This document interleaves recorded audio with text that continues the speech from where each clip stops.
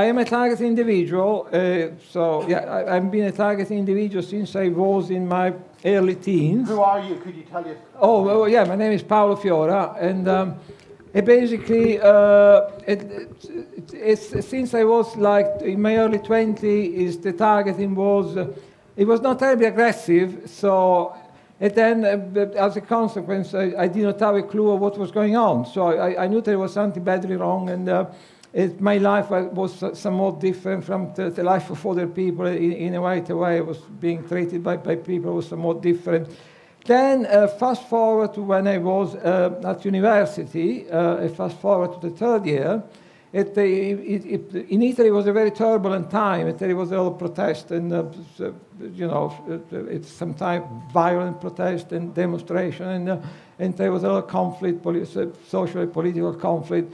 And then I end up becoming very radicalized in, in, uh, in, in the sense of uh, being very concerned about uh, economic justice, uh, being very concerned about social justice. So, what happened towards the end of the third years at university, and the, the summer break started, it's all, all hell break loose, basically. So all kind of stuff started to happen. It, uh, and, um, and my life started to completely fall apart. And uh, that's what I think what happened then is that they moved from a situation of like uh, targeting, which were like simmering away for some 10 years, to a situation of uh, what is uh, known as aggressive, very aggressive targeting. If you are being subjected to very aggressive targeting, uh, what is happening uh, is like you may say um, the, the, the, the difficult time to get through are possibly the first five, six months um, in the sense that you know you, you, you, you, you, are being indoctrinated on, on, on the social indoctrinated. You believe most of the things you have been told. You believe certain things couldn't possibly happen to you, and, uh, and then all of a sudden, all, all kinds of the things you, you believe they, they couldn't possibly happen to you, they start happening to you. Basically, so it's like uh, your entire world is is is the, the overnight is kind of uh, the turn upside down. So so basically. Uh, you know, it, it's all at, at, at, the beginning of this starting to happen to you, where you feel all, all kind of feeling. You feel fear, you feel confusion, you feel, um, uh, you know, a lot of anger, and uh, and uh, it, uh, you know, it, you don't know what to do. And then slowly, it's, it's not exactly um, it's a very nice learning curve, but slowly you, you start to um, develop strategies to, to calm yourself down to avoid certain situations which know, uh, they, they may get you in trouble, or, or, you know. And then, you know, by the end, of maybe if, if, you may not to, not, to, not to do any self-harm, if you may not to do, not to commit suicide, if you manage not to get uh, any kind of maybe entanglement with the, with the psychiatric system, then uh, it's, it's, not that after the first six months you, your life bec become particularly pleasant, but at least, you know, you, you kind of learn a couple of things about managing to stay out of trouble. Uh, one, one consideration I would like to make is like, um, uh, you know, by, by, by what happened to me, I think, like it took me basically the best part of 10 years to get some basic understanding of what uh, was happening to me. So what I believe, uh, if unless the targeting is very aggressive, it goes on for a, for a, for a very protracted period of time, you, you don't have really a chance to understand what is, what is happening to you. So in, in the sense, my belief is that if you look at, uh, you know, psychiatric hospital, hospital, uh, the military, um, home for homes, uh, like detention center, prisons, I, am I'm, I'm totally convinced that at this very moment there is very thousands of people who are being used as guinea pigs for all kind of experiments. That may, may, may go from trying out a new drug uh, with, uh, it, in, in a kind of dangerous kind of way or without any proper safeguard uh, to, to, many other things. So, um, you know, I, I, remember I was at uh, uh, King College, there was um, a documentary about um, uh, US Supermax prison, which is where like uh, people are kept in isolation 24/7, and they, they basically they never let them out of their cell because they're deemed to be so dangerous. These people. But the thing is, you, um, it, an increasing number of people actually in the US in, pre, uh, in prison, people they end up in you, uh, you know it's supposed to be for the, the, the for the most dangerous people, but in actual fact, uh, there is an increasing number of people who end up uh, uh, spending time in, in supermax prison. And they say that after like a period of uh, uh, some kind of six weeks, which is very short period of time, they say that up to 50% of these people, they start hearing voices. Yeah. And my, my, the way I reacted to that, I think, well, you know, maybe, maybe a lot of these people are hearing voices because of the, the, the, the extraordinary kind of situation which they're forced to live. But I, am totally convinced that at least uh, uh, quite a number of these people are voices because they have been uh, used as guinea pig to test voice to skull technology. So that's my personal conviction. Um, so then, um, you know, but maybe I, I, may say a few words about organized stalking. Uh, so organized stalking is a form of covert harassment. Uh, what is organized stalking?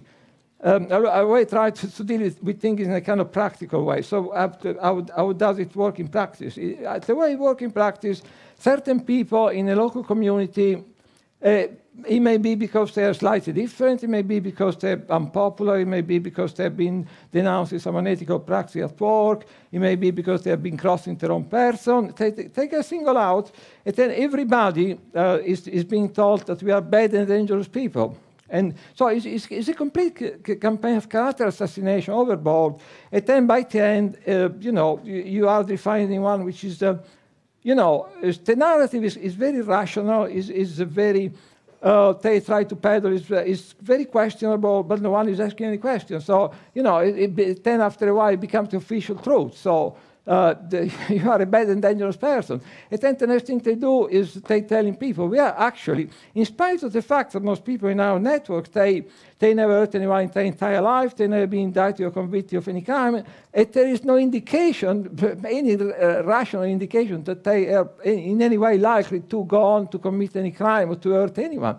So, um, but um, yeah, so what they tell people next is like, uh, uh, these people are allegedly so dangerous that, that, that, the only way to contain them, to contain them, is to, uh, for, the, for the local people, for the local population, to help out in a 24-7 campaign of harassment against us. So that, that's what basically organized stalking.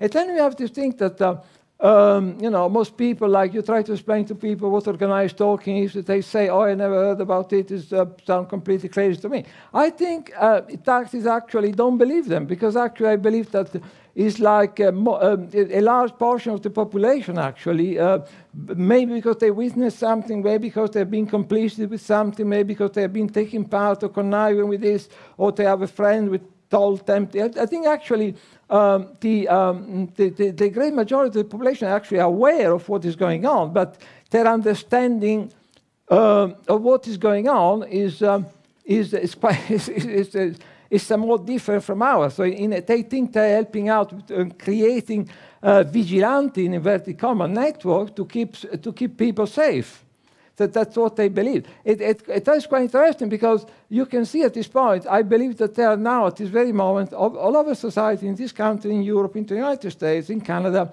uh, thousands of these vigilante network, uh, which is very convenient because I think is uh, uh, I, I, usually I talk about the terror financial elites, uh, which uh, uh, some people call them the Illuminati, some people call them in a different way. They, they call them the New World Order of the, the, the, the world government. I call them the terror financial elite. And uh, I think actually organized stalking and electronic harassment are very much one of their pet projects. So, the, you know, they, they, have a bit of their hands in every pie, they, they're involved in a you know, kind of thing, uh, criminal activity. But they, I think actually uh, organized stalking and electronic harassment as one, one of their pet projects because uh, with organized stalking, uh, you can create this thousand of uh, vigilante network all, all, over society. I, I believe that these vigilante networks are increasing in numbers because there are an increasing number of people every day getting targeting new people. It's an increasing in size. So if you think, what better way for them to keep tab on everybody, uh, the people get the, uh, you know, the harassment, but also the people quite willing to uh, take part in the harassment. It, it was better way for them to create a future, because I think, you know, people know a bit about the global surveillance uh, grid.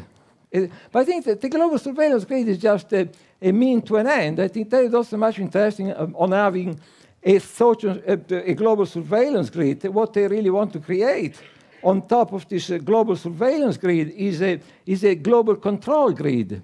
It, it, then you can see from, from is, is, being built up from the ground up in, in uh, you know, in many different ways. One way is to like to um, create this thousand uh, vigilante network uh, all, all, over society. And then if you look at electronic harassment, you can call it electronic harassment, but uh, you know, I, would rather call it the deployment of uh, electromagnetic weapons. And, the, the, uh, the, deployment of electromagnetic weapons, you, you can, you, you has two kinds of uh, use, use for them. One is to, uh, you have this colossal. This colossal, it is, you know, even when in front people think like, uh, uh, oh, I know a bit about what's happening in surveillance, so I, I'm quite aware. I think it's actually, I think it's actually a lot worse than most people think, right? Because uh, you have all these CCTV cameras now, I think most of them at this point are quite equipped with uh, facial recognition. You have uh, on, the, on the road, you have camera, we can read your license plate.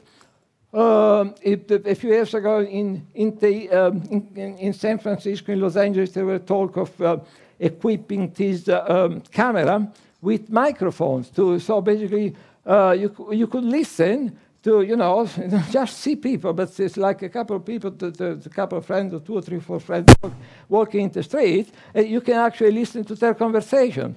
And then at this point, there was a big uproar, and uh, uh, it, they say, okay, we are going to stop this. But uh, by my assumption is that by now, that is two years down the line, they probably all, all, most of the um, most of the CCTV camera in London, they're probably equipped with microphones. The, yeah, so basically, uh, I think actually, if you consider the terror financial elite, um, they feel their power is threatened from different directions.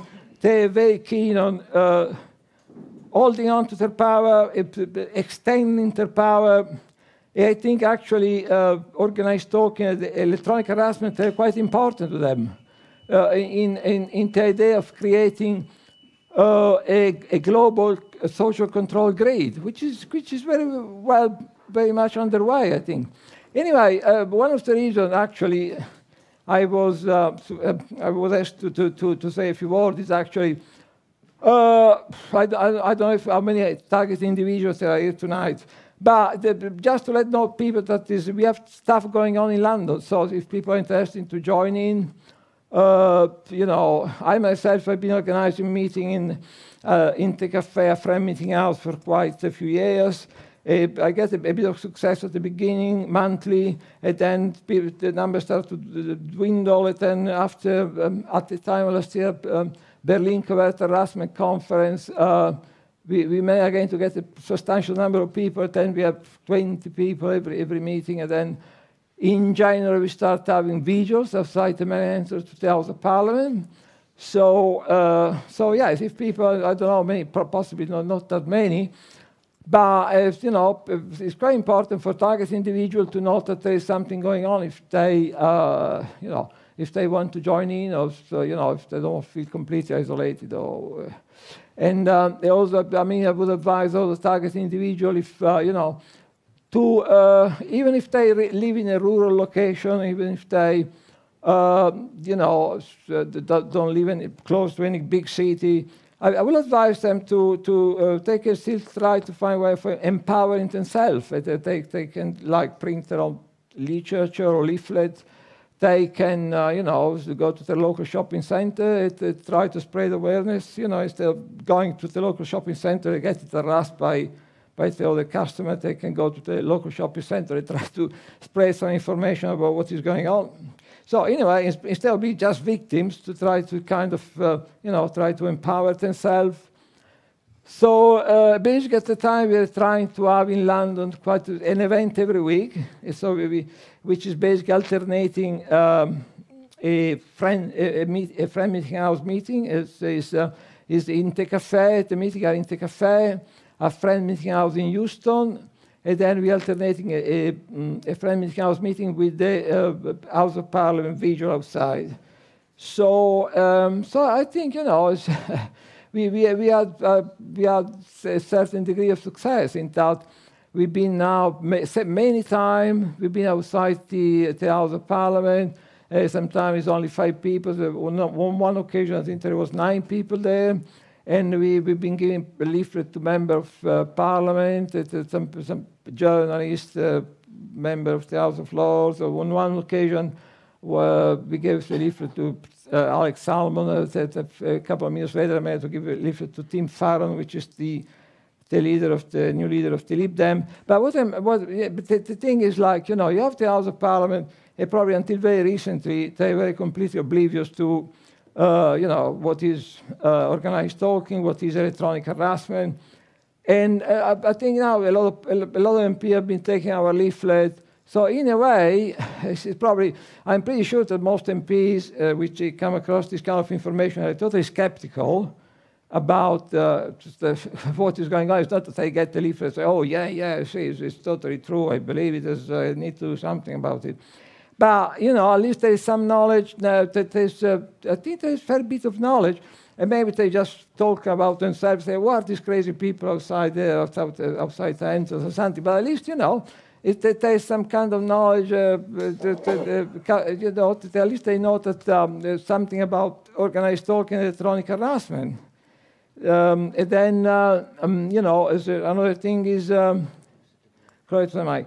Another thing is, um, you know, this, uh, another thing with potential, I don't know how many people in this room are interested, but we, we also planning to have visual now um, in the future in, uh, um, in College Green, which where all the, uh, outside the House of Parliament, all, all, the, um, all the media, when, when there is Prime Minister question time, when there is some they, they are assembled in, uh, in, in, in uh, College Green. It, uh, you, you go there, like Prime Minister question time, there's some 50 marquees, and you get the BBC, ITV, Channel 4. So what, what we are thinking, doing at the moment is uh, just position itself, just because it's totally legal. I think there's nothing they can do about it, other than getting angry with us. The position of self-intermediate of College Green, with all this, uh, they, they interview politicians uh, position yourself intermediate with placards, and, uh, and then, you know, it's, it's like gate cra crashing this uh, into, into, pe into people's TV screen because basically every time they, you know, they, they interview a politician, they, they, they, they can't avoid having us in so, somewhat into the ground. So that's actually is, uh, is the future of what, uh, okay, that's the future of what we would like to do. So uh, yeah, so basically, uh, organized stalking, electronic harassment. Would uh, anyone any, ask any question? All right. Okay. So no one has any question then. But you know, there is a little bit of it is. Uh, we, have, this strange situation whereby you know. It's not, I, I, don't personally believe that people don't know about organized stalking, for instance. It's, it's that they've been, they, it, organized stalking has been sold to them uh, as, as, something else. So it's, uh, it's organized talk has been sold to them as like a vigilante network which uh, uh are being used to keep us safe. But and then uh, you have this paradoxical situation whereby uh, you know, they, they say, okay, this organized stalking network are supposed to keep us safe. But then um, this is a fact that many TI uh, complain about the fact that they're using like uh, criminals, like drug dealers, uh, to harass them. It, I think it, I, I, have some in my block of flat. I think the people, I believe they're dealing drug. It's a deal there is actually, if uh, you know, if they are prepared to spend some time, uh, some of their time harassing me, they, they allow to basically to deal drug in the openly without no, one bothering them. And I think actually uh, it, another kind of deal test they, they, they you know is, is like um, if you if you get a convicted criminal like they have to spend another five years in prison, they, they, they made a deal like you spend a couple of years in this block of flat harassing this person, and then you go free. So I, I think there's many many many TI are circumstantial evidence that this stuff is going on. It, it you know it's a paradoxical thing is that basically uh, you know they, use convicted criminals, they use petty criminals, they use drug dealers to arrest people that basically they never hurt anyone in their entire life, they may never been indicted or convicted of any crime. and um, there is no indication that they are ever going to, to commit any crime. So that's, that's uh, another thing. Uh, anyone has any question? Any, any question at all? You think it's all nonsense or whatever you want to say or something, don't believe us? or maybe you would like to be persuaded to believe us or whatever? Uh, anyone, any question? So yeah, so basically, um, yeah, okay. So basically, we, um, I advise people, if people are target individual living in a rural location, they can print their own uh, literature and, um, you know, instead of feeling completely uh, disempowered, that they, they may, you know, try to empower themselves. If, if people live in London or around London, we have this uh, uh, weekly event alternating a, a, a visual with a meeting. Uh, they, if people want to contact me or find out more, anyway, uh, I have also a lot of leaflets which are they're still there all in my bag. So, yeah, so the, the, we may. Okay, Paolo, thank you so much indeed. we really then. do have to wind up now. Thank you. All right, then, okay. Thanks, Paolo.